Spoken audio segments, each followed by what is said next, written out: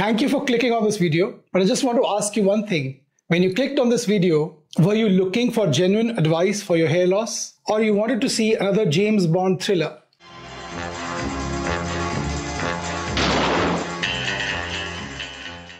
Curated results, results after a visit to the salon, results with hair fiber, results with contrast on high in photo editing. Well, none of my videos, the last 1000 videos I have posted on this channel, and about 2000 on other social media platforms, is a video for solicitation. My videos are purely to give you knowledge, to empower you with the ability, with the knowledge to make a considered independent decision and also to tell you the pros and cons of choosing a particular technique over the other. My videos guide you on how to retain a hair transplant result, which any clinic can give you today a natural hair transplant result, my videos merely empower you to firstly obtain a natural hair transplant result and then, depending upon available resources, preserving your grafts for future use and inform you also that a long lasting result is more important than a result that withers away in a matter of one or two years. So today's case is a young man. For his grade 4 vertex male pattern baldness, he came seeking a hair transplant. 3,500 grafts were used for his hairline, the temple points, and the crown area. The patient was placed on the traditional three medications for six months, but since he had miniaturization, he has been on these medications, including oral DHT blocker, for the past two years, and now he has come for review to show his thinning crown area. So see his result, watch it carefully, and then I'll tell you the approach.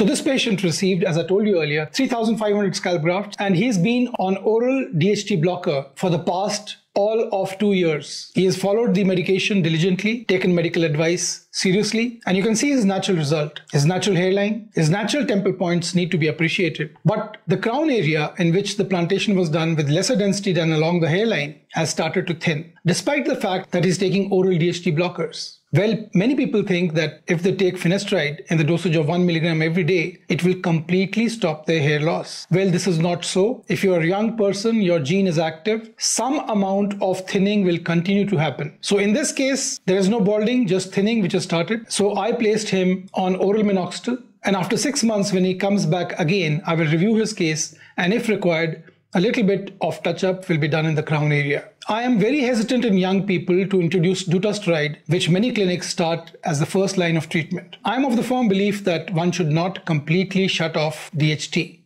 Dutasteride blocks over 93% of DHT. DHT hormone is there for a purpose and we cannot play too much with the hormones or the body will hit back. So that was the case for today. If you have any questions about hair loss, about this patient's hair transplant, about progression of baldness, about continuation of medication, or anything else you want to ask me about this topic, let me know. Put a comment in the comment section below and I'll be there to help you. For those of you who haven't subscribed yet but like this video, please do subscribe. Not only will it encourage me in posting more videos so you do better research, but also you will get notifications about the upcoming videos from time to time. So thank you for watching again and God bless you.